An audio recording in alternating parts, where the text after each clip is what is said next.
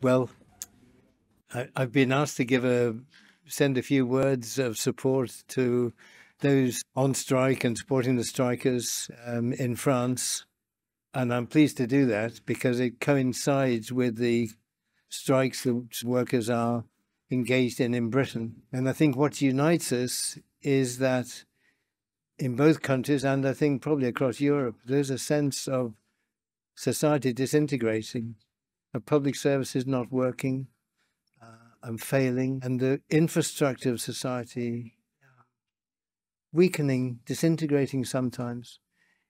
In our country, we're seeing poverty on a increasing, ever increasing scale.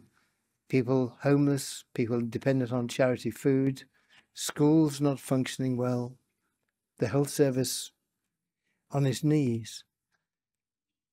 And we know where it comes from. This is the outcome of decades of neoliberal, harsh competition, attacks on trade unions, weakening of trade unions, low wages, and insecurity at every level, the rise of the gig economy, and the pressures that puts on family life. If we are to really make progress, then these strikes have to be political because we have to demand the structural changes that will give us a decent life, a life of dignity where um, we share the good things of life as well as just getting a roof over our head and putting bread on the table.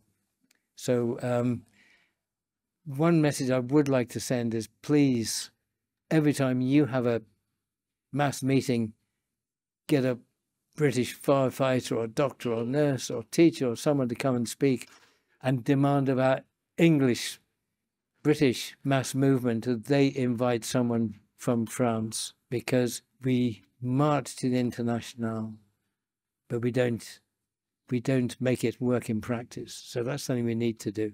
Anyway, good luck. Keep fighting solidarity.